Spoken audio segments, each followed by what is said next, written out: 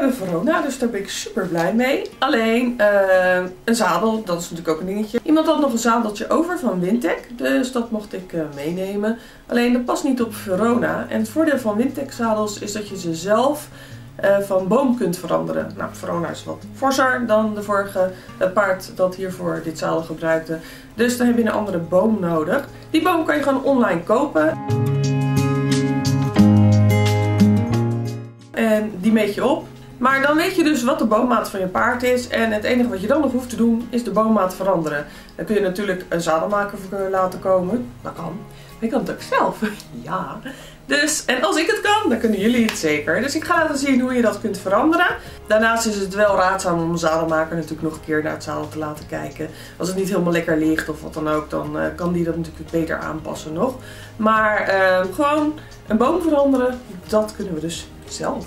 Ik ga het laten zien. Het zadel ligt hieronder, dus dan ga ik even de camera deze kant op wijzen. Je ziet nu het zadel, het ligt ondersteboven. De boom, ik zal het even aanwijzen, is misschien ook nog wel leuk om te zien.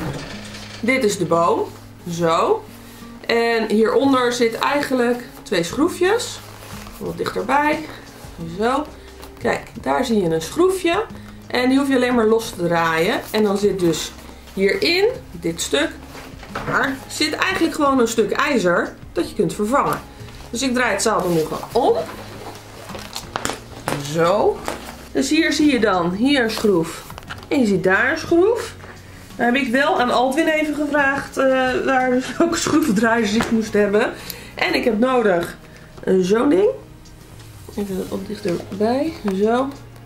Ja, ben je daar niet in thuis, dan moet je gewoon eventjes uh, aan je man vragen. Of uh, als je een man bent, dan weet je vast wel hoe dit ding heet. Maar die heb je dus nodig. Nou, die zet ik er dan in. En dan draai ik de schroef gewoon los. Mocht die aan de andere kant nou meedraaien, dan zet je daar ook een schroevendraaier in. En dan uh, ruim tegen. Deze komt gewoon soepeltjes eruit zo. Zo, die is eruit. Het is wel belangrijk dat je aan de andere kant de schroef er ook uithaalt. Dat deed ik de eerste keer niet. Dus, en dan krijg je dat zadel natuurlijk never nooit niet los. Moet dit even draaien naar jullie toe. En dan zie je hier, daar, zie je die andere. En die moet er dus ook uit. Nou, ik ga het met mijn nagels proberen. En als het niet lukt, dan moet ik hem even doorduwen. Deze heeft altijd me geleerd.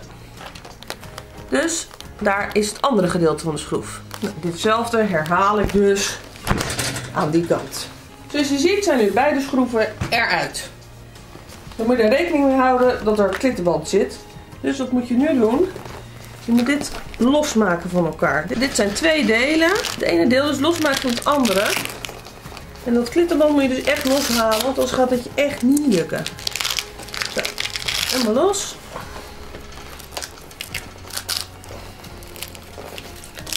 Zo, die is los. Zo, en wat je nu doet, is deze gewoon omhoog trekken. En dan is die dus al los. andere kant trek je ook omhoog. En dan is die dus al los. Dan zie je hierin, zo daar, zie je dus de boom lopen. De oude boom. En dit is de nieuwe. Nu heb ik die andere schroevendraaier nodig. Wat ga ik doen? Hier ga ik de boom losmaken. Hier zie je dus de andere schroef zitten, de schroef van de boom zelf. Dan heb ik de grote kruiskop, die weet ik wel die heet. En ik draai hem gewoon los. Die zit los, schroefje eruit en ik doe precies hetzelfde aan de andere kant. Nu haal ik dus dit stuk ijzer hier tussenuit. Nou, dit is dus de boom. Verroesten wel, maar goed, dat maakt op zich natuurlijk niet uit. Nu ga ik de andere pakken. Ik heb hier de nieuwe boom, de witte dus. En als je deze dan zo bij elkaar houdt, dan zie je dat daar uh, verschil in zit. Nou, ik zie dat hier uh, zelfs uh, nieuwe schroefjes bij zitten. Nou, deze gaat dus terug hier. In dit... Ja, en nu moet ik het zadel natuurlijk wel gaan buigen, want dat moet natuurlijk terug in die gaten hier. Daar. En dan gaat het zadel dus wel enigszins uit elkaar. Dat is één. En vervolgens moet ik dat zadel dus uit elkaar gaan duwen naar de andere toe. Nou, ik denk dat het makkelijker is als ik hem gewoon aan één kant even vastzet. En dan vervolgens de andere kant erin ga schuiven. Dus, uh, en die zet ik erop. En dan schroef ik hem gewoon weer in elkaar. Zo. Dan ga ik de andere kant doen. Het lijkt aan die onder waarschijnlijk. Zo hier onderdoor. Denk ik. Kijk, dan heb je alweer meer... Uh, nou weer ruimte. Ja, nu. Goed, zoals jullie zagen heeft Alvin toch even de schroeven voor me aangedraaid. Dus dan misschien toch meer een mannenklus. En, uh, en wat ik niet moet vergeten, en dat had ik dus niet gedaan, is hij moet onder dit ding. Ik had hem erop gelegd. Nou, dat werkt dus echt niet. Je moet hem er echt onder leggen. Dan gaat die er overheen. En dan schuift hij dus aan beide kanten er zo in. En dan gaat het prima. Oké, nu kun je het zadel gewoon weer in elkaar zetten. Als je dus de boom erin gedaan hebt, dan moet je hem natuurlijk wel even weer in die zakken hier schuiven. Dan moet het klittenband nog los voor zijn. En dan schuif je dus dit ding, moet dan weer hierin. Even uit elkaar.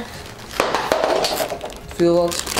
Dan schuif je hem er dus weer in. En dat doe ik ook aan de andere kant. Nu zit aan beide kanten dus die schuif er weer in. En nu moeten dus gewoon weer die schroefjes erin.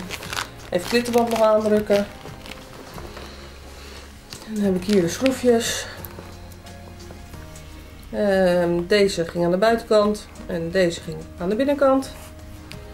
Zie je, stop ik erin. Andere kant ook. Moeten ze elkaar even vinden. Dus ik draai het even met mijn handen aan eerst. En die kan je dan aandraaien met een schroefdraaier. Hier draait hem bij mijn vinger weg, dus uh, nu doe ik het aan twee kanten.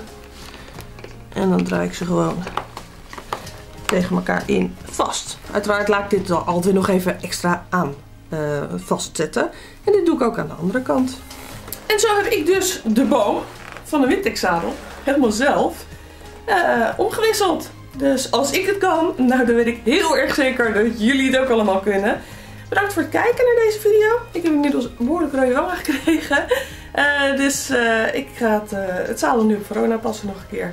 En dan zie ik jullie graag bij de volgende video. Doeg!